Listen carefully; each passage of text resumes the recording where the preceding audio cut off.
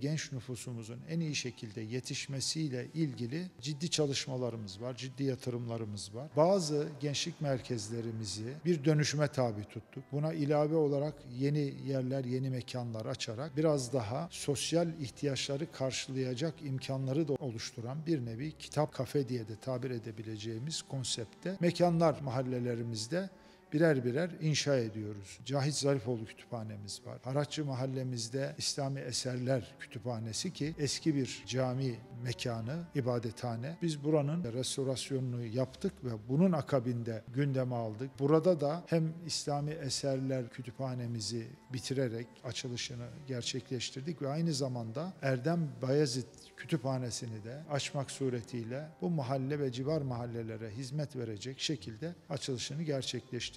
Merkez bölgemizde Arnavutköy merkezde çok güzel, geniş, güzel bir kütüphanemiz var ve aynı zamanda Millet Kıraathanesi şeklinde hizmet veriyor. İmroğlu'daki yeni yaptığımız mahalle merkezimizin içerisinde yine kafeterya ve aynı zamanda kütüphane çok yakın zamanda hizmete açılacak. Hadımköy'de hem büyük bir kütüphanemiz hem de bir e, kitap kafeterya tarzında yerimiz, mekanımız var.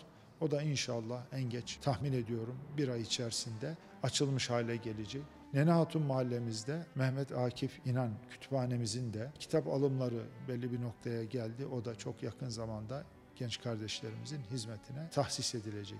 Burada yapmak istediğimiz şu, ders çalışma mekanında grup olarak çalışabildikleri, bireysel olarak çalışabildikleri güzel mekanlar, steril mekanlar, istediğinde kaynak esere ulaşabileceği, dilediğinde okuma alışkanlıklarını geliştirebilecekleri mekanları üreterek çocuklarımıza tahsis etmenin çok önemli olduğunu, çok değerli olduğunu bilerek bu yola çıktık. İnşallah sayılarını artıracağız. Hemen hemen her mahallemizde bunları inşa ederek gelecek neslimizin eğitimli, donanımlı bir şekilde yetişmelerini temin edeceğiz. İlçemizdeki özellikle genç kardeşlerimize, kitap severlere, okumayı severlere hayırlı olmasını temenni ediyorum.